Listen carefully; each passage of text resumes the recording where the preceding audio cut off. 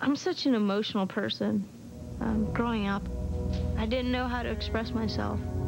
You know, soccer and sports in general was always an avenue for me to express my emotions. When I score a goal, I celebrate. I mean, I go crazy. That's that's a moment in time that I think I'm um, contributing to something, and I feel good about myself.